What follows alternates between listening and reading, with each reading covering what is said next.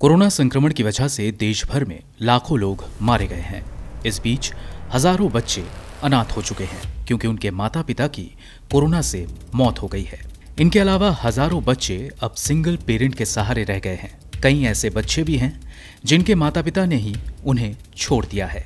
राष्ट्रीय बाल अधिकार संरक्षण आयोग के सुप्रीम कोर्ट में दाखिल एक हलफनामे से पता चला है कि मार्च 2020 से 29 मई 2021 तक 9,346 बच्चों के पेरेंट की संक्रमण से मौत हो गई है। हालाँकि ये वो आंकड़े हैं जो औपचारिक तौर पर दर्ज किए गए हैं जबकि संभावना है कि ऐसे बच्चों की संख्या और भी अधिक हो सकती है। इन बच्चों में 1,742 ने अपने माता पिता दोनों को खो दिया है। सात बच्चों की ज़िम्मेदारी सिंगल पेरेंट पर आ गई है जबकि 140 बच्चों को छोड़ दिया गया है। बाल अधिकार संरक्षण आयोग के आंकड़े के मुताबिक बच्चे जिन्होंने कोरोना के कारण माता पिता या इनमें अपने किसी एक को खो दिया है या उन्हें छोड़ दिया गया है इनमें से छप्पन फ़ीसदी चार से तेरह साल के हैं। संक्रमण की वजह से माता पिता को खोने वाले बच्चों में से सात सौ अट्ठासी की उम्र तीन साल से भी कम है। 5,226 बच्चों की उम्र 4 से 13 साल और 3,332 बच्चों की उम्र 14 से 17 साल के बीच है। 9,346 बच्चों में 4,860 लड़के और 4,486 लड़कियाँ हैं। मौजूदा समय में इनमें से 6,612 बच्चे सिंगल पेरेंट के साथ रह रहे हैं। 1,121 बच्चे गार्जियन और नौ बच्चे परिवार के किसी एक सदस्य के पास हैं। इनके अलावा 275 बच्चे चिल्ड्रन होम्स अठहत्तर अनाथालयों 18 ओपन शेल्टर होम्स और एक ऑब्जर्वेशनल होम में है। अगर राज्यवार आंकड़े देखें तो उत्तर प्रदेश में सबसे ज़्यादा 2110 बच्चों ने दोनों माता पिता या किसी एक को खो दिया है।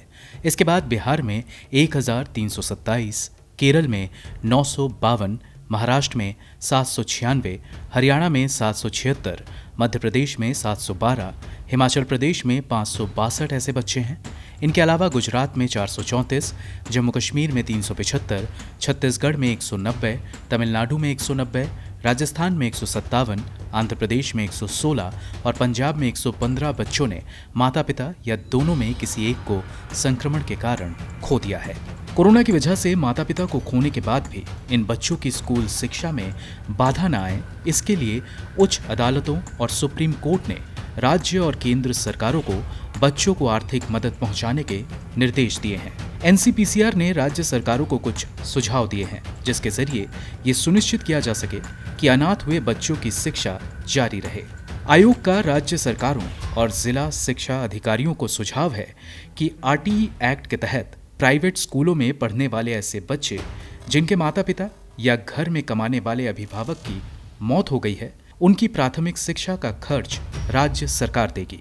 अनाथ हुए बच्चों के लिए कर्नाटक, असम और तमिलनाडु जैसे कई राज्यों ने कई योजनाओं का ऐलान किया है।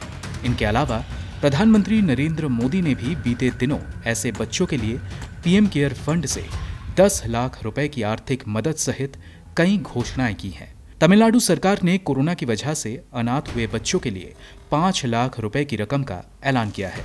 ये रकम बच्चे को 18 साल तक होने पर ब्याज सहित दी जाएगी। कर्नाटक सरकार ऐसे बच्चों के केयर टेकर या फिर अभिभावक को तीन हज़ार पाँच सौ रुपए हर महीने देगी। त्रिपुरा सरकार ने 18 साल के होने तक इन बच्चों को हर महीने तीन हज़ार पाँच सौ की आर्थिक मदद का ऐलान किया है। इनके अलावा हरियाणा, गुजरात और उत्तर प्रदेश जैसे राज्यों ने भी अनाथ बच्चों के लिए आर्थिक मदद और इनके वयस्क होने तक स्कूली शिक्षा एवं उनके रहने के इंतज़ाम करने के निर्देश दिए हैं। Bureau report, Go News.